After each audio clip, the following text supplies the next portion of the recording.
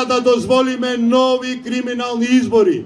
Ќе мора овој пат Никола Груевски да се соочи со граѓаните на слободни, фер и демократски избори.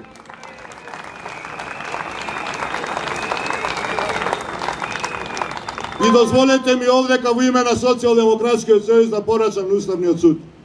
Имате рок до 18 јуни да се произнесете и да кажете дали специјалното јавно обвинителство е уставен орган во Република Македонија.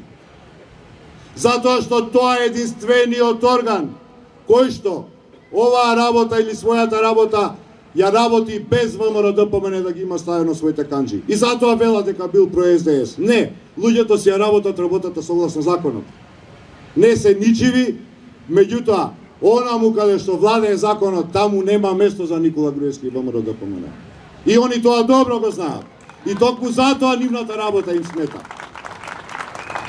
Нема да дозволиме да го угушите и уништите светлиот крајот на, на, на тунелот, светлоста на крајот на тунелот кој што се вика право и правна држава. Затоа што пред законите мораме сите да бидеме исти. Затоа што тоа е Македонија за која што се бореа нашите предци, тоа е Македонија која што ја прогласивме за самостојна во 91 година. Македонија во која што сите ќе бидеме еднакви и каде што сите ќе вредиме, без оглед на нашата политичка, партиска, етничка или религиска припадност подеднакво. Затоа што сите сме родени како луѓе, сите живееме како луѓе и сите мораме да ги уживаме истите права и да ги имаме истите обврски како и секој друг граѓанин.